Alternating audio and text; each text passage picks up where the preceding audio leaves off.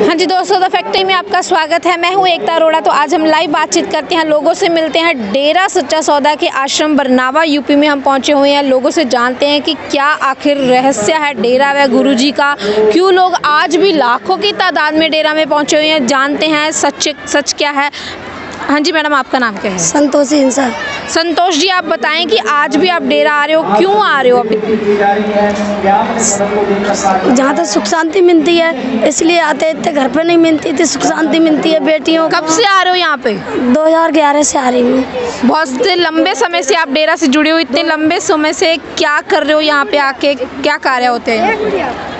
अरे हमारे तो बहुत सुख शांति मिली थी बच्चों को हमारे घर वालों को दारू वारू पीते थे नशा करते थे वो भी पिताजी छुड़ाए थे बुराइयाँ छुड़ाई थी। हमारे संग में क्या गलत करा था उन्हें हमने तो कोई गलत नहीं देखा इतने साल में।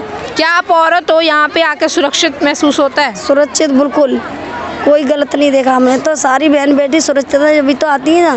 बाहर के लोगों को क्या बताना चाहोगे कि डेरा में क्या होता है? बाहर के लोग तो यही है कि कोई गलत काम नहीं हो रहा है सब कुछ भी ठीक है पिताजी हमारे बीच में जल्दी से जल्दी आए। यहाँ पे कितने मानवता भलाई के क्या कार्य किए जाते हैं? कार्य तो इंसान की बुराइयाँ छुड़ाई जाती हैं नशा भी छुड़ाए जाते हैं और गरीबों को खाना है कपड़े हैं और खूनदान भी किया जाता है आँखों भी उनका इलाज होता है बीमारों का इलाज होता है। अच्छी भलाई का ही काम होते हैं यहाँ पे बुराई के काम कोई नहीं होते। दोस्तों यहाँ पे बहुत सारे भलाई के कार्य इन्होंने गिनवाए। आप सरकार से क्या मांग करोगे गुरु जी के बारे में? हम कह रहे हैं पिताजी हमारे बीच में जल्दी से जल्दी संगत भी बीच में आए बहुत तड़प है पिताजी के लिए।